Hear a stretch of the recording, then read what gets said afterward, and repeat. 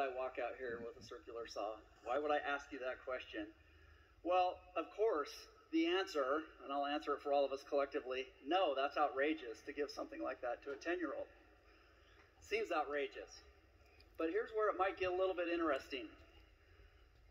With the right tools and the right coaching, mentorship, community, purpose, anybody can build something amazing.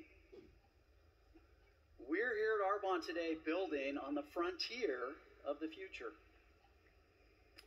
And the first lesson that I want to share with you about building is that fear or uncertainty of our current capabilities might prevent us from picking up something that maybe looks a little bit dangerous. Sometimes it might keep us from reaching our potential. So, this photo is a house in Alaska that I built at age 12 years old with my family. So, thank my mother and father. Imagine this. We were literally camping out in a tent and a suburban in a dirt driveway with big dreams in the woods. We needed something that was more appropriately sized for a family of 12 children and two parents. Okay? Our ambition at the time was pushed by an intent need and was likely far beyond our capabilities, certainly my capabilities as a young man. And apparently, the child labor laws and OSHA and those kinds of things don't apply to parents in Alaska. My father had the best dad jokes around, and he would always say, One boy is a half of a man, if you can get him working. Two boys together are no man at all because all they do is goof around. But he surmised that because of the number of children that he had, maybe if he could get enough boys and girls working together, that we could get something productive done.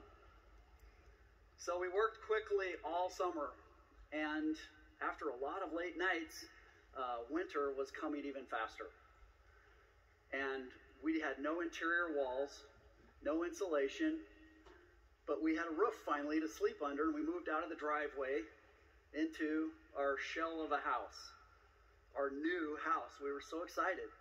Bare wood floors, studs, framing.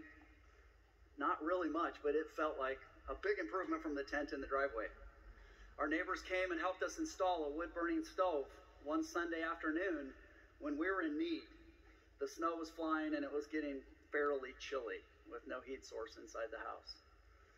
We worked very hard and we had a known purpose for building. I had a purpose. It was a need for my family to have a warm place to live.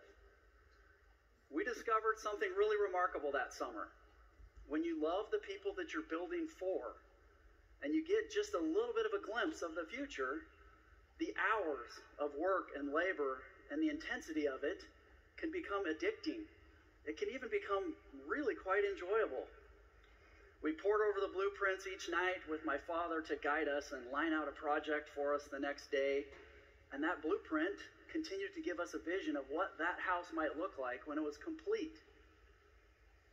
My mother, being, of course, a typical mother and loving mother of her children, often would privately ask my father, and I heard this on occasion, that please let these boys and girls go play. Let them have a night off. Let them have a weekend off. Let them join the baseball team. And we learned a really important rule about building anything that will, will, will last over time.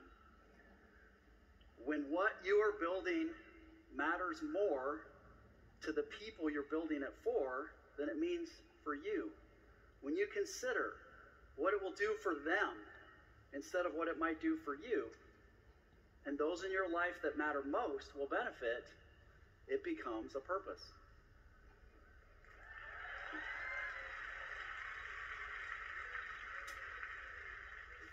Think back right now to those that may rely on you today.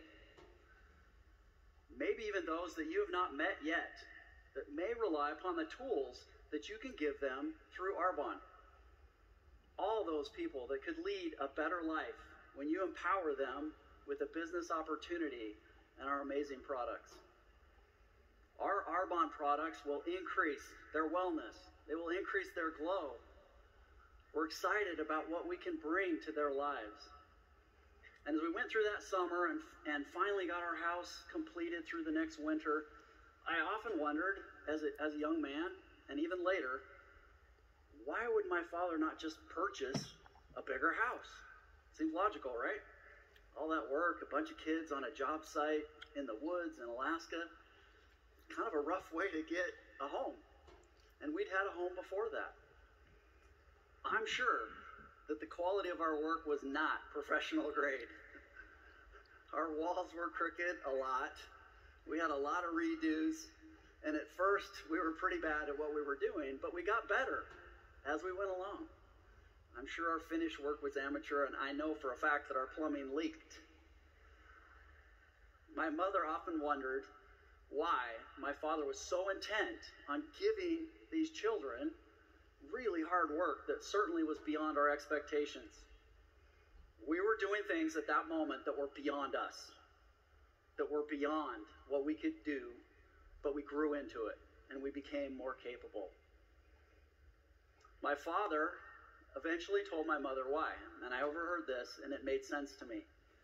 He said, Celeste, we're not just building a house, we're building humans for beyond today.